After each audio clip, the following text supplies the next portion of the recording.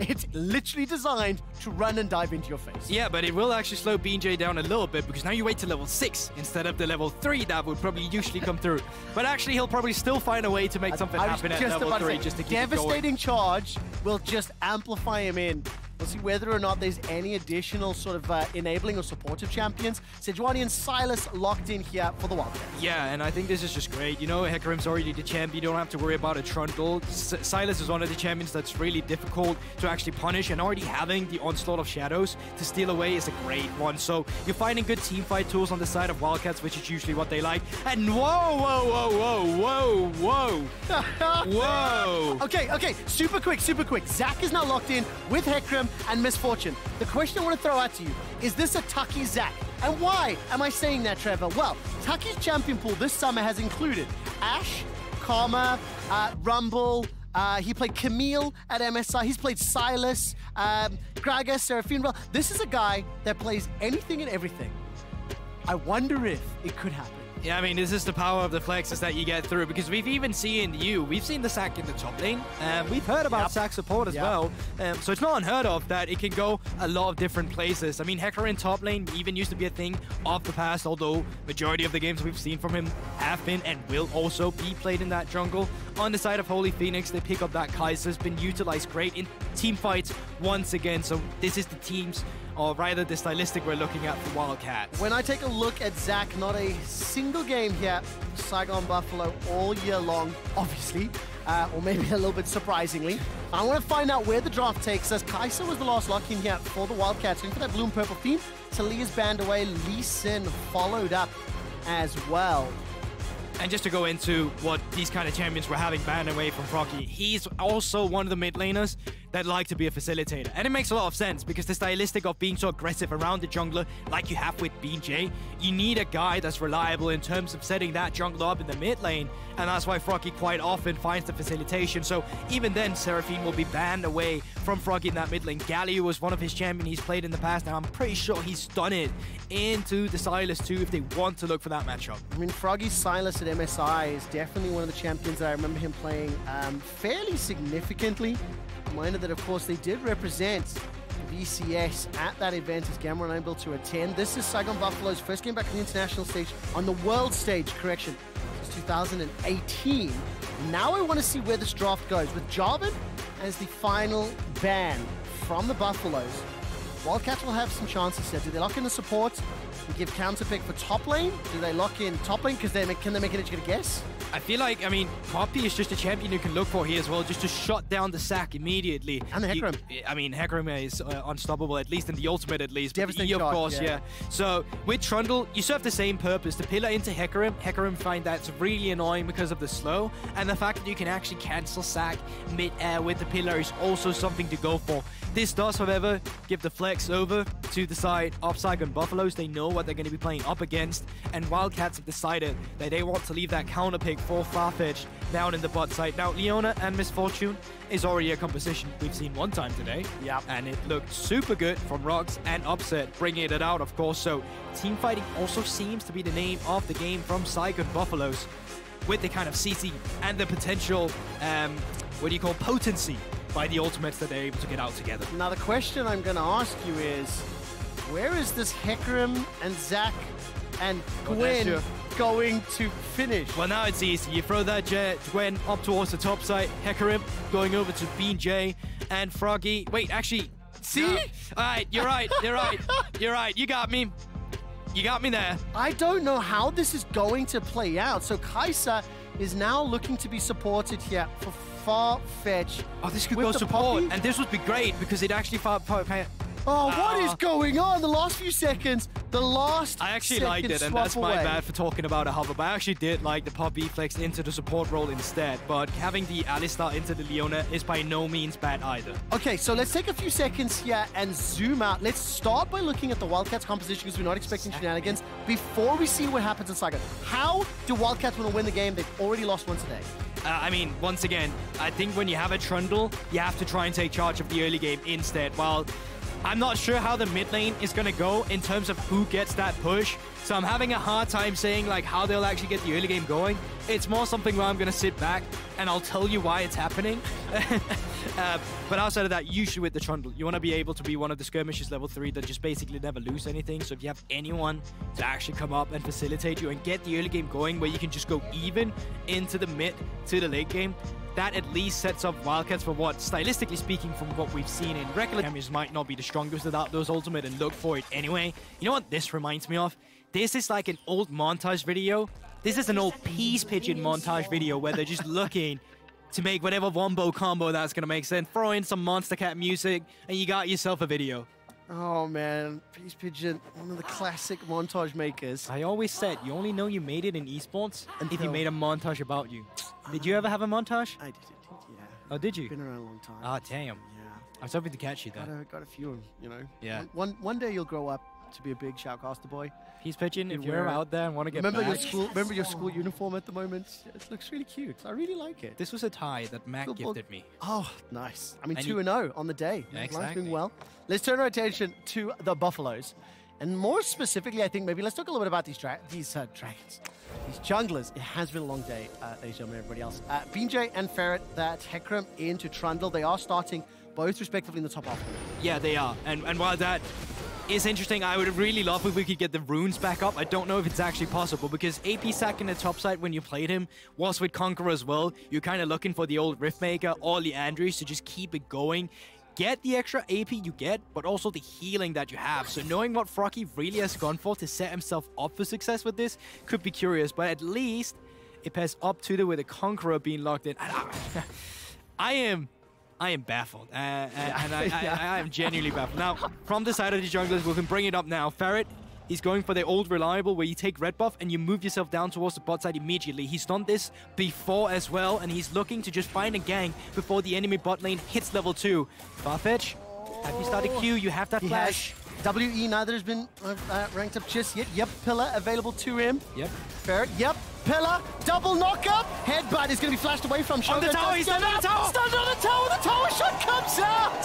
And Taki Taki turns it around. Now Shogun continues to free fire. The cow's running for his life. And HoluPhoenix cannot auto attack. Cannot. He Captain Rain. The Zenith. He's under the tower now. Headbutt forward. I love Vietnam. But it's the Wildcats that bounce it back. A one for one.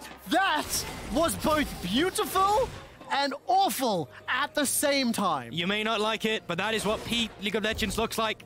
And it comes from both Turkey and Vietnam, at least in the first stages of a play-ins day. And I mean, it was a good thing to get red buff on one member of Saigon Buffaloes, but even better to get it back on towards Healy, HoluPhoenix afterwards. And it looked good in the beginning. It looks like you almost get the classic Alistar combo where you pulverize him back into the enemy team, you pick up the kill.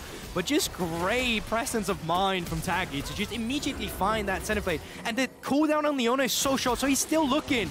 But this is where you put yourself in prime position for Farfetch just knock you away, and then HoluPhoenix with that last auto attack pick it up. But we're not done yet. Oh my word, we're back to another fight. BJ this time jumped on by Serin. Now, this will get the blood pumping. We just set the fastest win of the day as Loud were able to take down DFM. Saigon Buffalo and the Wildcats are trading blow for blows. There's the possibility this could break that. Oh, here we go. No Or- flash on Shogun, so Farfetch could still look, does have that hex fight. But you know what? This is what my jet lag body needs. Just inject it into me. Oh, I'm to find out how much action is going to play out here All right, it's going to continue. as Froggy is now being jumped on in the middle lane. We'll throw out that stretching strike. I'm going to find the next target. Look at the look at the support. Look at look at. Farfetch. Hex flash, hex flash, hex flash! Froggy gets knocked up and his passive is popped. Froggy will be channeling Faker from All Stars 2018. Ask me why, Guldborg. Why? Because at All Star 2018, Faker played Zac mid. It's the only other game that we can find of Zac mid being played, so not a formal game. Do you want to know why he channeled Faker? Yeah. They lost that game Oh my to word. Rookies Malzahar. So that was a super BM call that my stats team enabled. Thank you, guys. Yeah, but actually taking it back to what we talked about to bring some seriousness into it. We did not expect Wildcats to be the team that was going to pull the trigger. We did say with the Trundle, we wanted you to be proactive. Yes. And so far, Ferret has actually been so. Not so much in terms of counter jungling like you usually would see on the Trundle, but actually in terms of facilitating the laners instead. And by enabling the bot lane, also enabled the roam that we saw from Farfetch, which he was then able to get some pressure in the mid lane too. And they continue. Look at the mobility here. I mean, this is fantastic from the Wildcats because we were anticipating a much slower pace of game. When we do look at how they do play out their wins from the TCL, Froggy's going to land that stretching strike, looking for a secondary target. I love when two champions get pulled together, attach one, attach two, now Yes. kiss, and that will be followed up with all the CC. I mean, if that lands and Leona follows and Hecarim follows, that is how Saigon Buffalo will want to accelerate this game. But it's the Wildcats. They've got two kills. They're only marginally behind in gold. And I think um, they also have a huge amount of engaged tools themselves. Yeah, but at this point in time, there's two ways you can look at it. You can look at Wildcats to completely elevate it as well and continue with the gold lead they have. But even then, they have a good scaling aspect of their side too. Don't have to be too worried about it. And Kai'Sa pairs really well into the Hecarim. She pairs really well into the Zac. And of course, if you, they're not immediately in your face, but the fact you can go invisible, kite with your ultimate, and have that passive to really shred these tanky stats, i i- it's amazing. I mean, I want to just take a brief moment to remind everyone, Shogun Taki, I know you will have heard it and seen it, but when they played that opening game against T1 at MSI, the bottom lane is what took off. I mean, at one point, I think Shogun was, what, 7-0-1 or something? Um, T1 was significantly further ahead in kills, but this game again, it's Shogun and Taki with the extravagant, the flamboyant, the over-the-top early game. Even on CS, the kill was secured by Taki, was matched by HoluPhoenix, who's one of the danger players for Wildcats, and with them pushing in that bottom wave, they've started Dragon, but SGB, I think they want to challenge us. BJ, I'm trying to look, he's not yet level 6. Headbutt Pulverize comes forward. That's the stun from the Shield of Daybreak. They engage yet another knockup. Serin hits 6 off the kill. That's an instant reply. One for one, both supports are down, and they're disengaged from the Buffaloes. Yeah, Froggy coming around as well, seeing if he can find anything. And actually, despite his team members having backed off, they still look for it. HoluPhoenix, no flash. Bullet time, bullet time. One more Rafflecopter, helicopter, make it rain, and the Auto 2 secure.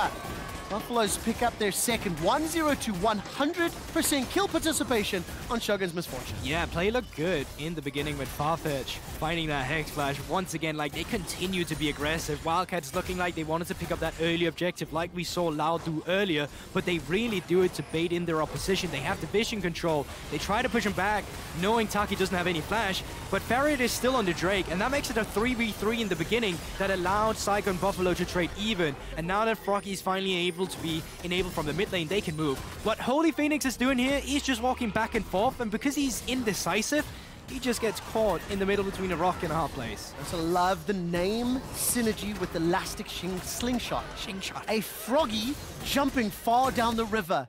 It's just thematically on point as we do get a Lisai facepalm. Now, of course, the top lane is under pressure. Buffalo, once again, they are initiating. They didn't like the fact the Wildcats were throwing as many punches. Seven kills, eight minutes, and 1,600 gold lead to Saigon Buffalo. Yeah, and there you have it. This is the roam you want Taki to be able to do. We see him do this so many times, even on Enchanters as well. He'll be the one. He'll making the plays up towards the top side. Now, I... Fight. Wildcats coming Locked through as in, well here. locked in. BeanJ's caught out between the pillar and a hard place. Onslaught of Shadows needs to go defensively. Froggy is going to be able to escape with that slingshot. And Guldborg, you are not going to be able to analyze a lot because in the time it takes to set up and explain a point, they're already engaging again. It doesn't help either that I see IW and I just think I will dominate, so I'm really finding a hard time here. But now, Wildcats haven't started up that Rift Herald, looking to see if they can potentially turn as well on Taki again. He gets caught. Zenith Blade doesn't pull him out. Starscreen forces the flash from Shogun. BJ engages. He's got no ultimate. The Rift Herald is still being focused. What are you doing? There's nothing gone down yet. Rift Herald does get killed off. Is now Ferret's running away for his life. Snip, snip, snip. No one's been able to pick it up. as well. Nobody's picked up the eye just yet. Zenith Blade as well as the solar flare goes down. It was Taki that was caught to begin this. And now all of a sudden he's trying to rejoin the fight, but the rest of the Wildcats are destroying Saigon Buffalo. What is this team fight? Everybody involved, but the Wildcats win it all. And this is how Wildcats do it. Usually they so find it in, in team fight. fights. I mean, it's all over the place. An early game where no one's getting blown up in the beginning, it is just long team fight you're in for. Now, Rift Herald is in pocket. I wonder if you're looking for it immediately now. You don't have to extend, extend the play just yet. You still have loads of time to take a chill and just collect yourself and find the correct play with it. And that's exactly what Wildcats is going to do, so I do recommend them of this. Oh my word, 13 kills, nine and a half minutes. It is all of a sudden the Wildcats that are up, what, 15, 1800 gold? So that was nearly a 3k gold swing.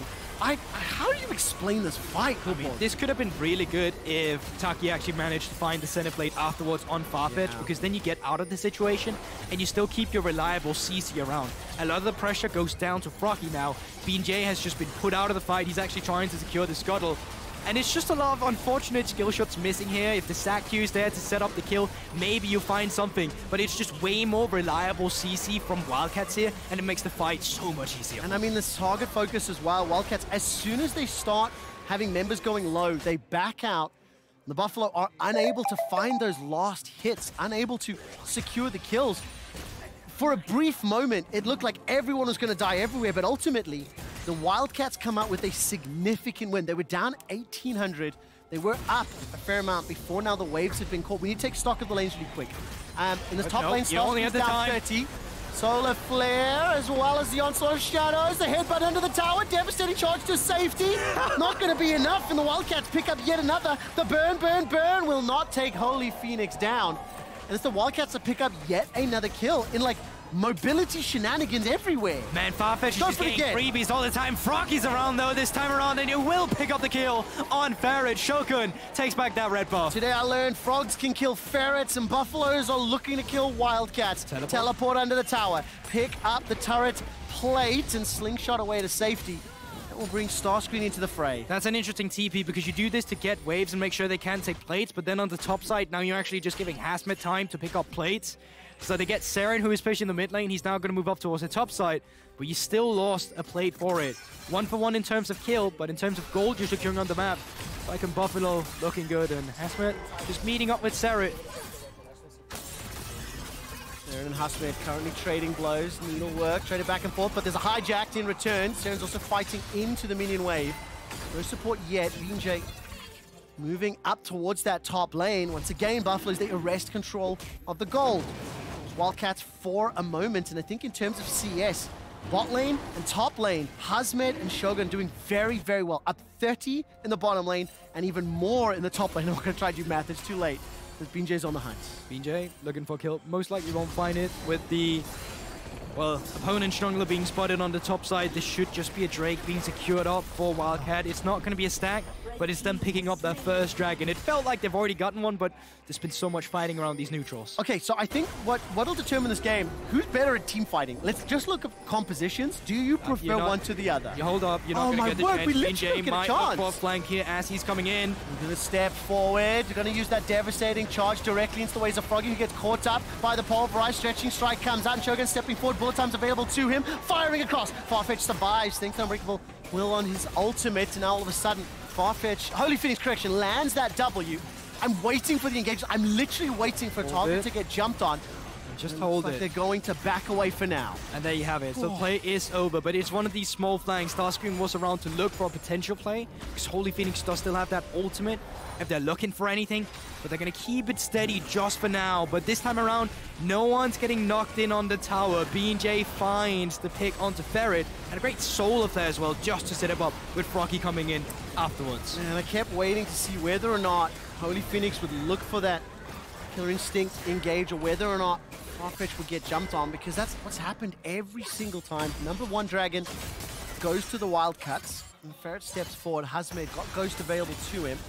The Revice can be a potential threat. Stern continues to hammer away. Hallowed Mist is down. Snip, snip, snip, as well as Needlework has already been fired out, and Serin survives for now, looking for Kingslayer, looking for the slash, the dash, the chains, find a kill. 10th on the board for the Wildcats. Serin 3-0-4 inside us. Yeah, and incredibly greedy by Hasmed. They barely have any vision or intel about any of the opponents from Wildcats, so going for the engage there, um, he kind of begs for it, and the rest of his team is just too busy clearing up the camps. There is still a jungle advantage for BJ. You can see he's level 9 to Ferret's 8. They might need each other here as well, but Zenith Blade Oh. does not connect this time around. I mean, that frozen domain movement speed is really going to help Ferret out. He was stepping for at the last moment, decided to go back to the top lane and avoided the Zenith Blade. BJ and Taki still in the hunt because Froggy's in the top lane. Wave is being caught mid from Shogun. It's got his Kraken Slayer. To match HoluPhoenix's Kraken Slayer as well as Phantom Dancer. Yeah, and it's really important you highlight these mythics on extra items coming in now, of course, because 20 seconds and Rift Hell will be the play. When you look at the minimap right now, all the wards are lit up in favor of Saigon Buffalo, but if you look at the minimap again and actually just keep your focus pin there, you'll see that they've been on resets from Saigon Buffalo. This allows Wildcats to get in there and clear up the vision if they're decisive enough to do it in time, but they're actually going to leave it be, move into the mid lane, and potentially try and see if they can take care of this turret. Starscreen, look at Starscreen. He's got that prison available to him. Seren is stolen away. The onslaught of shadows that finds the chain onto Taki. Solar Flare locks him up. He can't even fire the hijacked ult. It does allow the tower to be secured. But once again, it is the Wildcats engaging. It's the Wildcats that are ramping up their play to throw down with Buffalo. They might still do it. You can see it. No fishing on the bot side. Here comes the Glacial Prison. Won't find a direct hit. Taki slowed but not stunned in place. And all of a sudden, Wildcats unable to find more. Buffalo this time standing in the darkness, hoping the Wildcats step into them. Yeah, and you can even just see it on the bot side as well. If they're not taking this fight, Hasmed has taken away turret plating. He kicks off the turret. Now he comes in with the TP flank. teleport, teleport, teleport. Hasmed step forward, using that snip, snip, snip onto Starscreen. He's got no ultimate available to him. Far-fetched has got a leak in the boat and taken down by Hasmed. And all of a sudden, it's Buffalo's inside the pits. Yeah, so Ferret does still have that flash, but no smite, so even trying to contest this Rift Hell is probably not going to be the play. And the timing in that is actually really good for Saigon Buffalo because they can pick up this neutral objective and they will have the time to move back with a reset, have it utilized for the Drake. They'll actually be spawned in one minute as well. So good stuff from Saigon Buffalo and a good way for them to continue with the goal lead that they currently have. I am so surprised and happy to see what the Wildcats are doing. Not only from the prep that we Because had coming sending in. I hate you right now. I love each other. because they are fully committing, engaging, playing proactively, or as you children will say, sending it. Exactly, and I think even looking for plays here, you can do it because you know the top laner is playing down towards the bot side, but this is the vision control we were talking about earlier as well. Wildcats never cleared this. They went for the mid lane to look for a fight, and because you did that, you gave agency for Saigon Buffalo to actually find these flanks, to find the intel that they needed for it, and they punish on it immediately. So the overextension from Wildcats continue, even stemming back to the first play they had. Now, can the Wildcats stabilize this, or are they comfortable enough with this approach to their gameplay to be able to keep this pressure up, and more importantly, actually take the lead? Because despite the kill advantage, the dragon advantage, Buffalo have had the gold lead for a larger portion of this game. We're 17 and a half minutes in. Herald has dropped top, and I just want to set a goal for everyone watching at home. The highest amount of total kills throughout the course of Play-ins Day 1 was set by Mad Lions and Isurus Gaming at 34. Mad Lions picked up 22 kills, Isurus 12. So 34 was the most kills in the game. We're already at 90. We will beat it. We I- will beat it. That is the goal of this game as well. Now, Rift Herald as well, topside has been expanded. They're looking to see if they can get a second turret, but members are not really in a position to capitalize on it. And good job by Starscreen as well by shutting it down. Continue. While we have a brief moment, let's talk a little bit about the Zac mid. Um, it may be not be the most scientific of games to evaluate the validity or the power of Zac mid, but how do you think it's gone for Froggy? Well, first of all, I don't think it's been bad. And having mid laners that play a facilitating style, a champion like that is not bad, ei- bad either. If you're under afraid of being diva, do, di- what's the Dove. Dove. Yeah. Div- Divon's a better one. I like Divon though. So Dove, Dove. Div- Dividone from uh, di- maybe that's not your show actually. That's that's too early. Sorry, Nickelodeon. Um, either way, either way, Being dived a lot and working well. and working well with the passive that you have, and also just like having the CC to facilitate members in a team fight is exactly what Froggy wants. And now we actually have the time to talk about it. This game feels like it's going to come down to whoever's going to play the team fights better. And it's been a um, mixed bag of good execution, interesting outplays. Do you prefer one team composition to the other? Because I think the Wildcats one is just more traditional, right? And I think if Saigon Buffalo can make their comp work, maybe. But I'm trying to wrap Listen, my head around it. How I use my analysis is by watching a lot of pro games, and I use that data as I see what happens in my analysis, then find out like what I really like when they then play against each other because I've seen it so many times. This is new I, Tartar. and it is new territory. Yeah. This is learning experience for me, and I think both of the teams have had to theorize, have ways where they play these team fight well. I think it comes down to execution, how you use them. But if there's one player I would say make the difference, it's HoluPhoenix on a Kai'Sa that can actually kite out a lot of the CC that comes through from Saigon Buffalo. Killer Instinct is going to be so crucial then. HoluPhoenix has that available, has Flash available, has Cleanse up as well. Shogun, no Flash, by the way, but if you look at the minimap, Wildcats currently playing the side lanes. Starscreen in the bottom lane, Serin in the top lane, and this is the longest passage of play in 20 minutes. Nobody has yet gone down. Two dragons to Wildcats. The 1,000 gold difference really is insignificant at this stage of the game. And there's two important items completed for both bot laners. It's only Froggy that's a little bit behind the itemization. Teleport's now being channeled here at Guldborg. And it looks like Wildcats slowly starting to group up. But ultimately, they will defend the tower. They will concede the teleport to do so.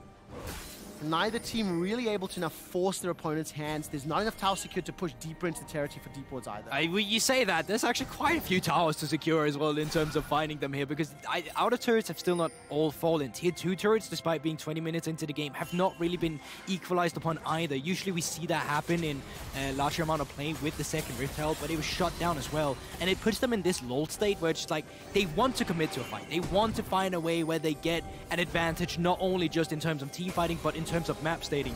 But the only way they do it with their team composition is trying to look for a fight, but they're trying to find the right ground for it. It's like they're building their battleground. They're placing around the vision, they're looking for the right time, and they're looking, well, uh, for the right. I actually don't have the word for right it. moment to engage. I mean, the right moment to fight. The thing I want to look for is whether or not Buffalo can use Hasmed's Gwen on the side lane in any way, shape, or form. I, I like that Serin and Starscreen were trying to set up some form of, sort of, I don't know, slow push or, or not. The answer from Buffalo was just to group up.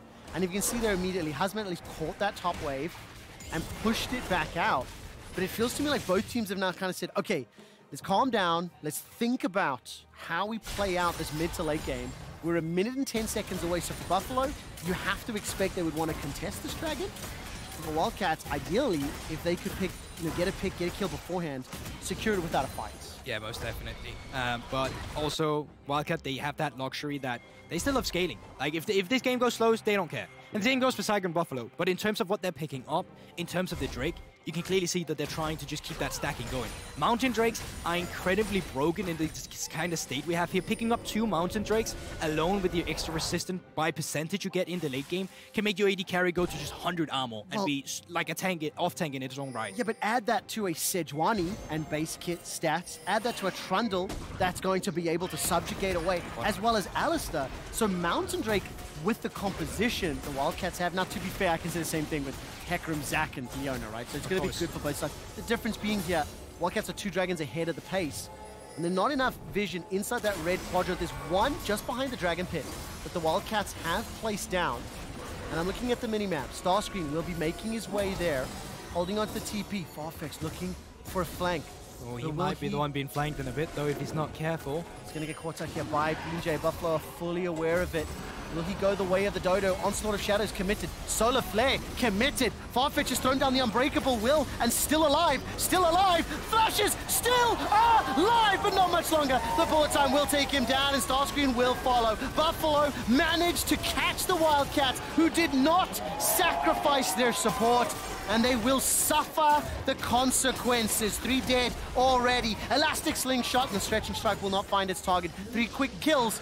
The Buffalo will look to secure both the Dragon and potentially the Baron. That is just going to be the Baron. Ferret does not have that flash, and he does not have the smite. Well, he does have the smite at the moment, but finding agency into the pick is going to just be so damn difficult. Gwen shreds Baron, Shogun's around as well. This should just go over to Saigon Buffalo. I really want to see on that, that replay. In my head, the Wildcats should have just left Farfetch to die instead of stepping forward. Yeah. That's my head. No, I mean, that's true. That's I- not just your head. I mean, your head is saying the right thing, and now find themselves in a great position. And it makes sense to look for a flank, but the problem is, even if you find it right now, your team is not in a position to capitalize. Like, look at the vision control that currently is in River. Farfetch doesn't have River control. It's all Saigon Buffalo. And even in flashing over, just meeting the Miss Fortune ultimate, finding yourself in a 5 versus 4, and yes, some ultimates are down, doesn't stop the CC from still coming through. You're playing into a Leona, Yeah. you're playing into a Zac, and you're playing into a Gwen that's still going to keep the consistent damage going, despite not having the ultimate available any longer. I mean, I'm wondering, you know, Yeah? I don't think it was the right call. I think it was a mistake. Yeah, I think you're That- right about that. that. explains it. I mean, that fully explains it from the Wildcats. And that's the turning point as well, because despite Saigon Buffalo still, you know, being quite even with them in a gold lead, the game state was in a position where Yeah. Wildcats were still feeling comfortable. But now that gets completely ripped away from them, and now it's on the other side of Saigon Buffalo. Even if it goes late game, if they're the ones start, uh, who start striking these Mountain Drakes, if they get four of them, they get 36% extra armor and magic resistance. Now, I will say that when we look at that play, and I think when we evaluate sort of the 20, you know, the 0 to 20 minute mark for the Wildcats, uh, not a team that we've associated with this style of play that we see in this game, not one that like that regularly. Yeah. But they do win a number of their games from the TCL through team fights, right? Through late game fights, late game calls. Their comp goes late often, or their team goes late often. They're now in a very difficult position. The Red Bull Baron power play is already at 1600. They're down 5k gold. They're losing an inhibitor turret. They're not in their base to defend. Look at the minimap. There's no one here to defend. Buffalo will not be able to pick up the kill just yet, but the bull time does so much damage. One for one traded, and Hasmed can continue to step forward, looking for the snip, snip, snip. Froggy will flash away from the chains, gets popped into his passive, and Shogun can come to save. Starscreen escapes with his life. It's a one for two. The brace is broken open. The inhibitor will fall as well, and like, the Wildcats were just not there. Yeah, and since the recalls are coming through, you might even look for any turrets. Pinks are there, but they're not going to overextend their stay. They get the mid lane inhibitor, they get what they wanted, and they can still go for the recalls with the Baron Empowered recall. 25 kills in 25 minutes. The record today was 34. And I want to take another look at that mini-map uh, if we do get a replay because I'm not sure if they were chasing Hasmed or similar. I, I didn't quite see why uh, didn't respond because that was a three-tower mid-lane push.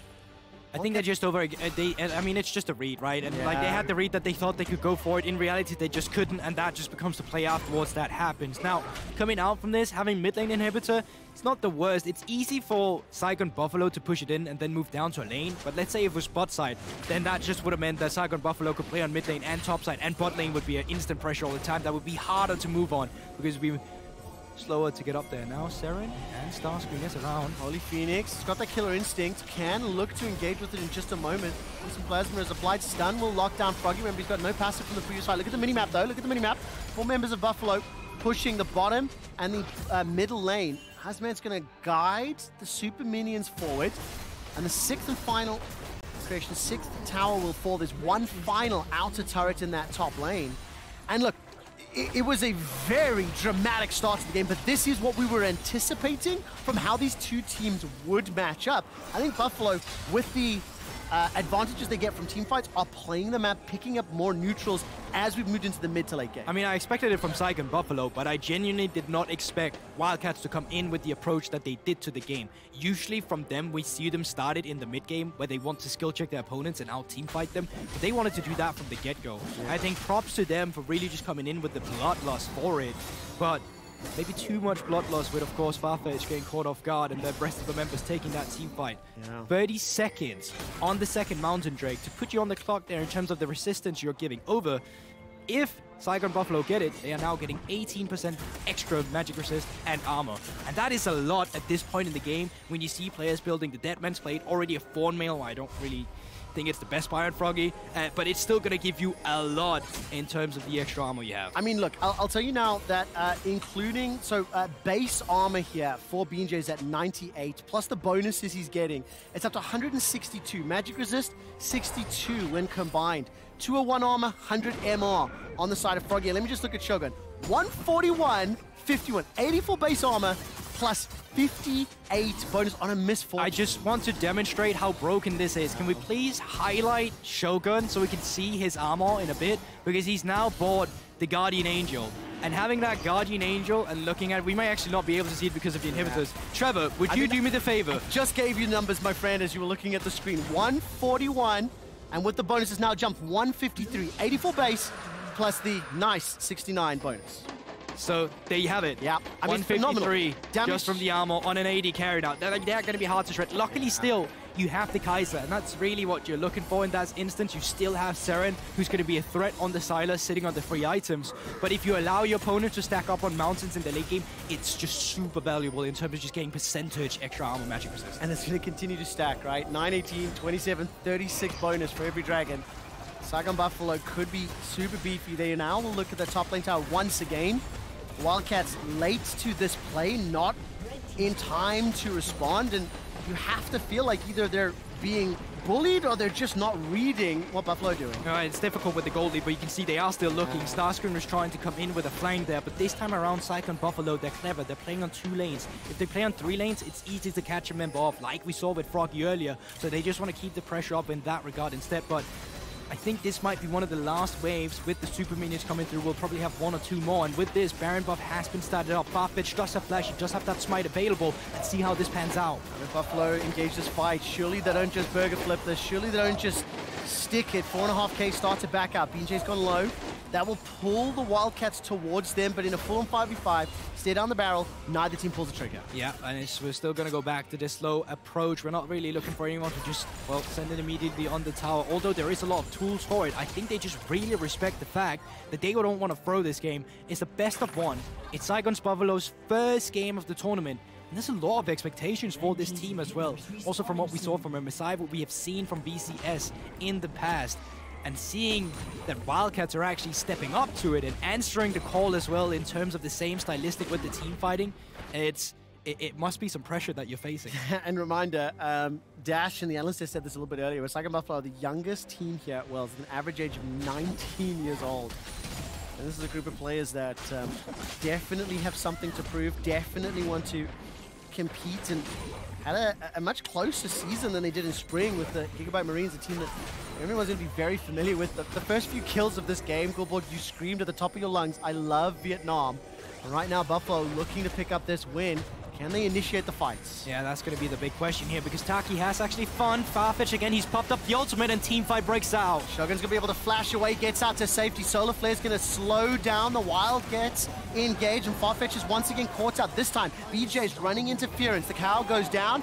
Needles are fired out from Hasmed, hop over the wall. Starscreen caught up inside the Baron pit. Serin's going to look for the chains, holding on to it. Got that flash available to him. Make it rain, continues to drop. Bullet time is available as well. Buffalo got themselves two kills already. Serin has hijacked the bullet time. Starts firing it across, but Froggy will not go down. BeanJ continues to stick onto Baron. He's down below 500 hit points. 2,500 in the pit. 1,000 in the pit. Baron secured by the Buffalo.